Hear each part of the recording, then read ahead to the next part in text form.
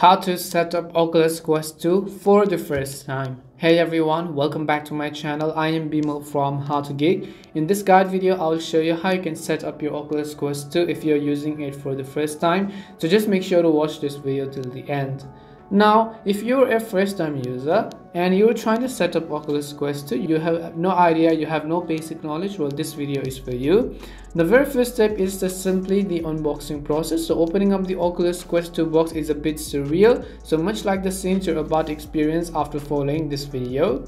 Now you have to prepare for a full-time prep which means now before you can power on the headset and get going there are a few steps you need to take you have to pull the tabs from the touch controllers they will take a good yank to get out but this will allow the batteries to connect internally and power on the touch controllers. You have to also remove the film cover from the lens and sever the pieces and add silicone cover to the headset if you have it or you can also attach the glass spacer which is also really optional.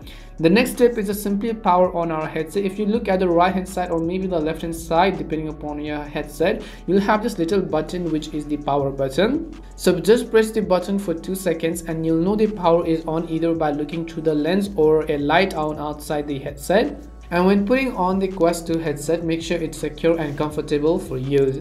The next step is to adjust the spaces of the lens which means that there are three spaces available. They are going to move accordingly. So just adjust it within the headset to your preference. They move at the same time. So push together or pull apart until the screen is clear for your eyes and after that you'll be taken within the Oculus headset which is called Oculus onboarding. Now first thing you need to do is sit down in a space that allows you to move your arms and around comfortably. Majority of the onboarding is done with the headset on. And following on the prompts of the screen you'll be instructed to do things like connecting to Wi-Fi or watching a safety video. So you can go ahead and do that if the Oculus headset has an update, make sure to also update it and just let it update, do not do anything. After that, you have to simply connect and pair it to your phone. So download the Oculus app on your smartphone and it will require you to log in with your Facebook account. As stated earlier, you cannot use the Quest 2 without a Facebook account, so you need to have a Facebook account.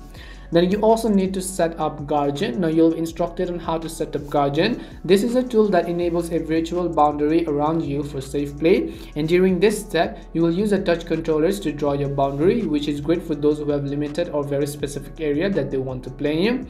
Now, after you do all of those, you'll basically be greeted with the main toolbar. The first UI you'll see when you're finally through the setup is the toolbar. This is where you'll find the important information about the Quest 2 and the navigation will exist. Here you will find the battery levels, be able to cast the devices, browse the internet games and more. And that's all it takes to set up your Oculus Quest 2 for the first time. We hope the video was really helpful and if it did help you, make sure to leave a like and subscribe to our channel. If you have any more questions, feel free to leave them down. Thank you very much for watching and see you soon in our next video.